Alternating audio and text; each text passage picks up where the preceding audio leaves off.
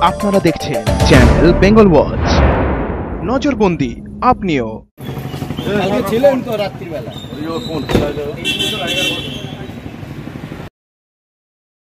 সাংবাদিকের বাড়িতে আগুন লাগানোর চেষ্টার অভিযোগে তারই ভাড়াটে অজয় দাসকে গ্রেপ্তার করল টিটাগড় থানার পুলিশ। ঘটনাটি শুক্রবার রাতে ব্যারাকপুর বারাসাত রোডের বটতলা এলাকার।